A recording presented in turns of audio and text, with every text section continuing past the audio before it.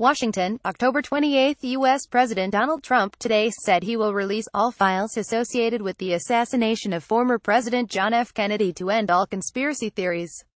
Trump said this in a tweet a day after the National Archives, at his direction, released more than 2,800 secret files related to the assassination of Kennedy on November 22, 1963.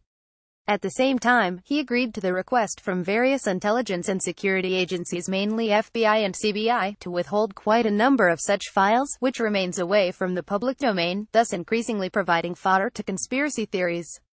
In his tweet, Trump said after strict consultation with his Chief of Staff, General John Kelly, the CIA and other agencies, I will be releasing all JFK files other than the names and addresses of any mentioned person who is still living.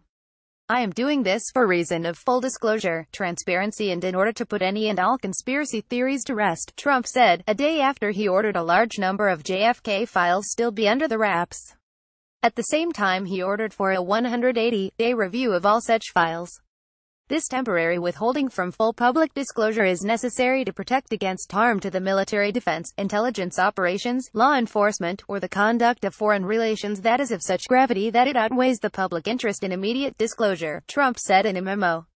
The American public expects, and deserves, its government to provide as much access as possible to the Kennedy assassination records so that the people may finally be fully informed about all aspects of this pivotal event, Trump argued. Trump's Attorney General Jeff Sessions agreed and said that there is need to expedite the process. We are working this weekend. We are going to be working every way possible to expedite the production of these documents as completely as possible and they will be virtually, completely revealed from the FBI files, he told Fox News in an interview. Sessions said Trump is right to say to get these materials out.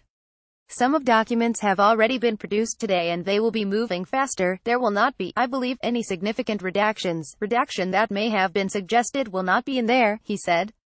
There's going to be virtually complete disclosure. Some people who are alive may not need their names or their current addresses revealed. A lot of it is extraneous entirely, Sessions said.